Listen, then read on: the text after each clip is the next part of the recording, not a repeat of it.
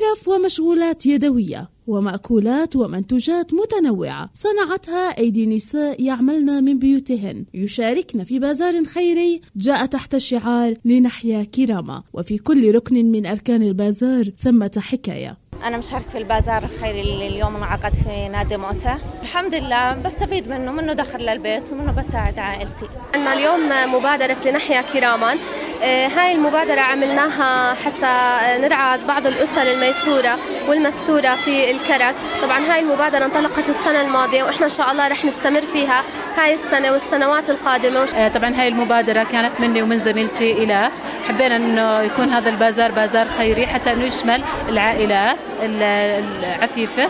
فنتمنى أنه البازار نحقق لهم ربح وإن شاء الله رح نستمر على مدى الأيام الجاية بإذن الله. تنوع المنتجات منح الحاضرين خيارات متعددة لاقتناء ما يعجبهم في خطوة تهدف إلى تمتين الروابط والعلاقات الإنسانية والتكافل الاجتماعي.